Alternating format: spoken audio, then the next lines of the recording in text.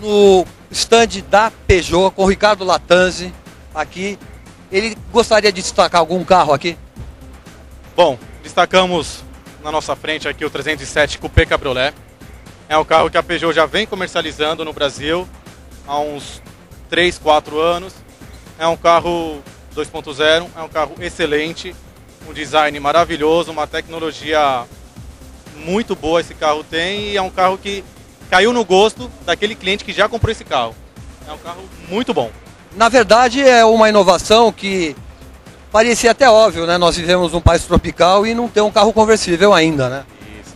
Correto, correto. O brasileiro por si só não é um não é um cliente muito apreciador de carros conversíveis, né? Tanto que a Peugeot tem dois, duas opções para esse segmento, tem o 206 Cabriolet e o 307 Cabriolet. Tirando a Peugeot, tem duas ou três marcas que trabalham a versão conversível no Brasil. É muito pouco, é muito pouco.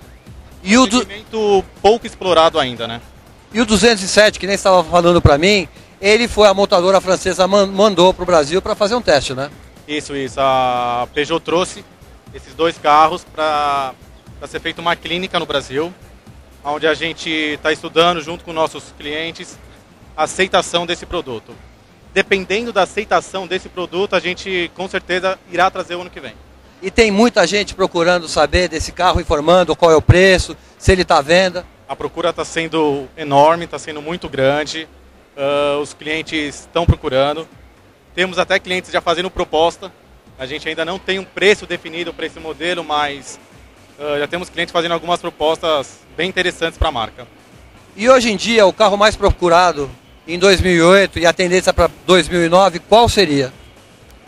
no, na nossa marca, na Peugeot, o carro-chefe nosso é o 207, que foi um carro que nós lançamos no mês de, de agosto.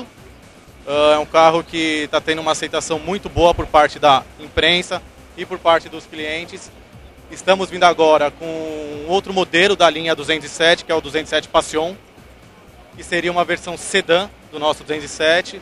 Estamos lançando aqui no Salão do Automóvel e é mais um carro aí que deve ajudar muito a Peugeot a alavancar suas vendas no Brasil. Se, for, se você pudesse destacar as características do Peugeot, o que, que você destacaria? É um carro para jovem, para gente mais de idade, é esportivo? A Peugeot tem um carro para todo tipo de cliente, para todo nicho de cliente.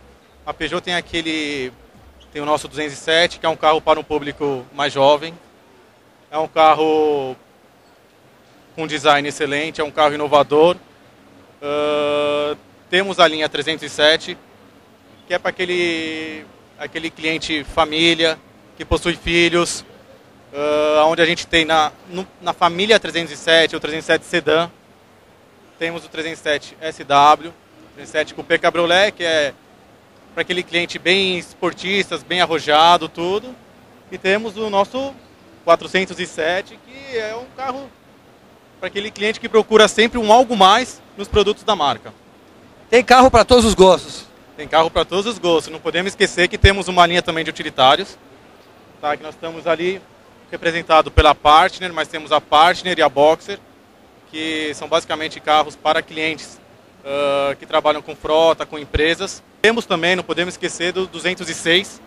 O 206 é um carro que caiu no gosto do público brasileiro. É o nosso carro de entrada, e é um carro que tem vida muito longa na Peugeot, no Brasil. Ricardo, vocês também trouxeram um carro tipo protótipo que corre lá na Alemanha? Trouxemos, trouxemos. Trouxemos a... um carro que foi o campeão das 24 horas de Le Mans em 2007. Uh, foi o mesmo carro que participou das 24 horas de Interlagos o ano passado e foi o ganhador.